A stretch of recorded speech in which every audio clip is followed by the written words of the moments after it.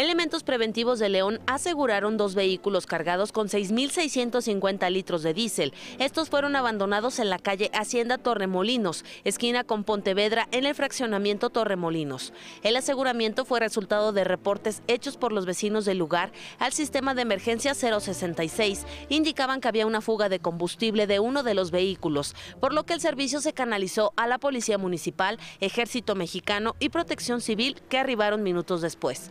Los elementos castrenses y preventivos aseguraron dos camionetas, una en color café con dos contenedores de plástico con mil litros cada uno. La segunda era una camioneta blanca con cuatro contenedores con 4.650 litros y siete más de 20 litros que estaban vacíos.